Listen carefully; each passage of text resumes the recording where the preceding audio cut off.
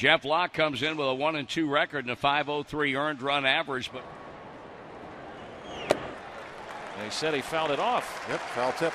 Locke strikes out Joey Votto.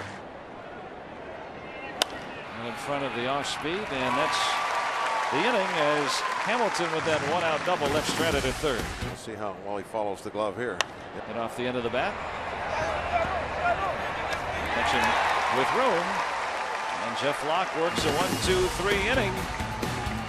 Ball just barely missed the second baseman's glove and roll out in the right field. After the error on Locke, he gets the double play, no big deal. Pick up a little bit better. Strike three call. Payoff pitch. And he strikes out Jay Bruce. He's faced Votto and Bruce four times. He struck him out four times.